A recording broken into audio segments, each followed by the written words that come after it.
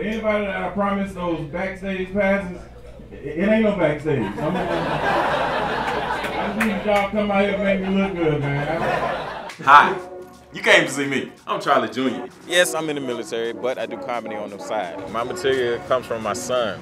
You know, he's hilarious. You know, being a father, you know, and being a sailor, and just generating all that, putting it together, man. It's just ah. From anyway, man, y'all, y'all, uh, I'm getting too emotional, man, and getting too deep, man. Um, I got a show in a few minutes, and I, I need to turn up, man. Chalee Jr. Hashtag I'm running. You already know the slogan.